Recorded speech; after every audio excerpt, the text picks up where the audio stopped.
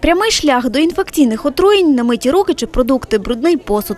Найбільше хвороботворних бактерій накопичується на поверхні фруктів та овочів, тому їх варто ретельно очищати. Особливо, якщо їх їстимуть діти. Виноград зі шкіркою може спровокувати шлункові розлади. Ще краще, кажуть медики, ошпарювати овочі та фрукти гарячою водою.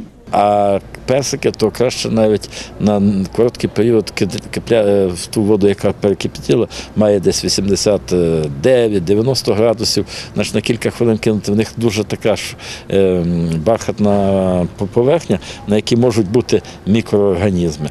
Причиною отруєнь і кишкових інфекцій може стати і джерело життя – вода.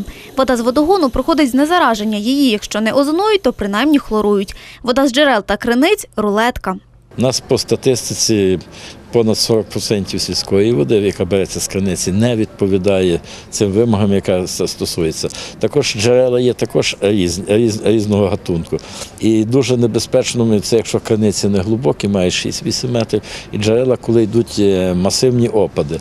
Тобто поверхнева вода може попадати в ці джерела. Таку воду перед вживанням необхідно кип'ятити. Збудники кишкових інфекцій чатують на нас і у річковій, озерній, морській воді, яку можна ненавмисне ковтнути. Та й загалом після купання у відкритих водоймах обов'язково треба прийняти душ.